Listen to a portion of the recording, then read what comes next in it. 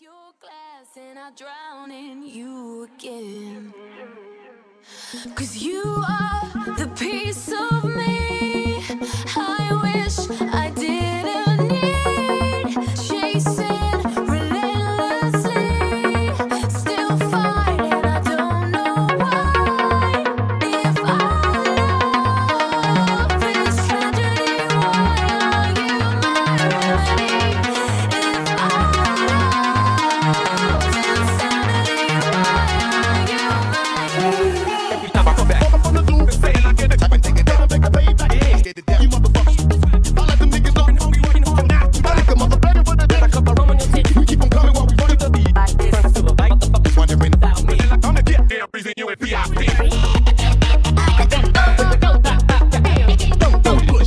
down.